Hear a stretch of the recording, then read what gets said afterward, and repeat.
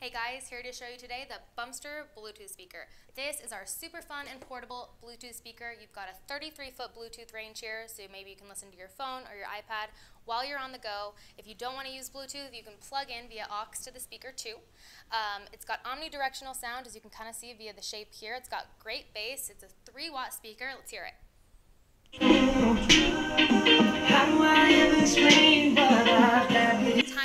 Size, but definitely some mighty sound. It's super portable, and what's awesome is that it fits perfectly in a cup holder. So you could put it in maybe a golf cart, or take it on the beach, or maybe even the cup holder of your car. Great for road trips. Take it anywhere you go. It'll get the party started.